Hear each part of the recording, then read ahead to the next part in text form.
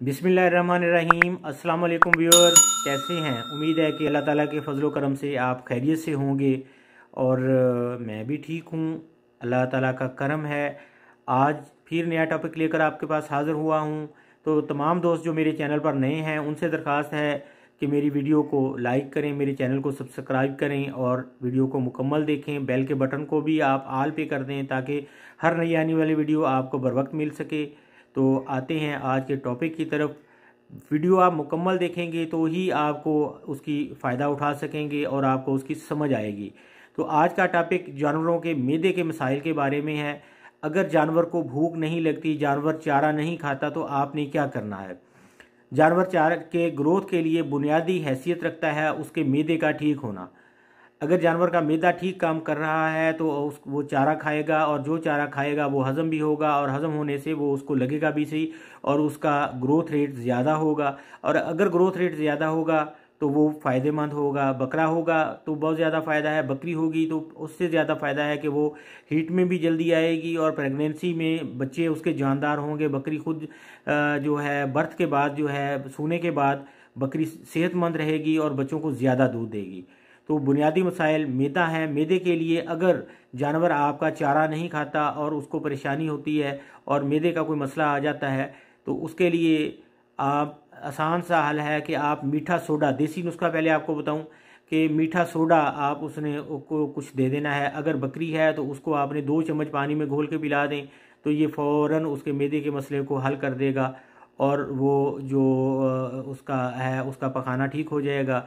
और मैदे ठीक हो जाएगा। बकरियों और बड़े जानवरों को आप हफ़्ते में एक या दो दफ़ा मीठे सोडे का इस्तेमाल लाजिमी करें। उसके लिए आम सा फार्मूला इस्तेमाल करें कि जब आप उनको चारा डालते हैं तो चारे के ऊपर आप उसको छिड़काव कर दें। तो बकरी के लिए एक चम्मच काफ़ी होता है। आप बड़ी बकरी है तो दो चम्मच दे सकते हैं।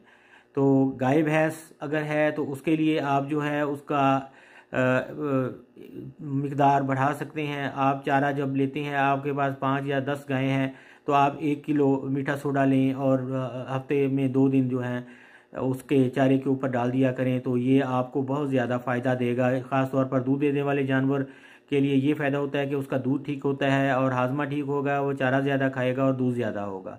तो मीडिया का मसला अगर हो जाए और जानवर चारा ठीक तरह से ना खा रहा हो तो ये इंजेक्शन मैं आपको बताता हूँ हैपासेल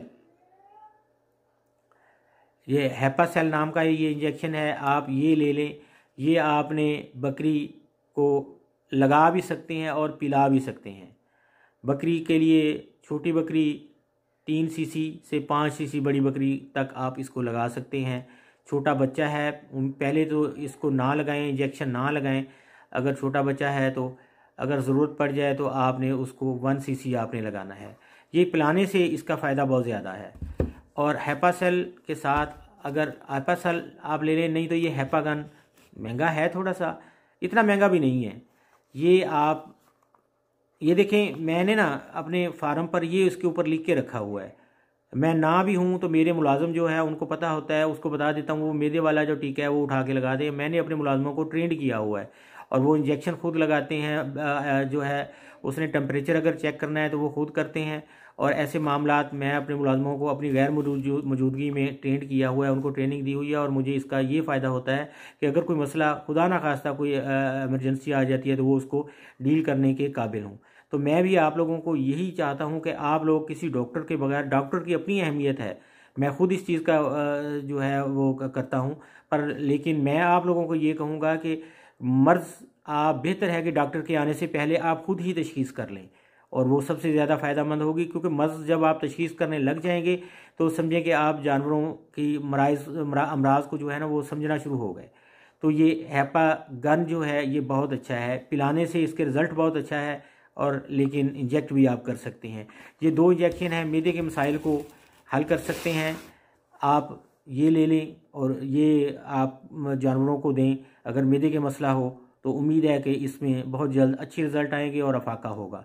तो उम्मीद है कि आपको वीडियो पसंद आई होगी। अगर वीडियो पसंद आई है तो प्लीज़ इसको लाइक कर दें मेरी वीडियो को मुकम्मल देखा करें ताकि मुझे भी सपोर्ट हासिल हो सके और मैं आपके लिए अच्छे अच्छे जो टॉपिक हैं वो लेके आऊँ।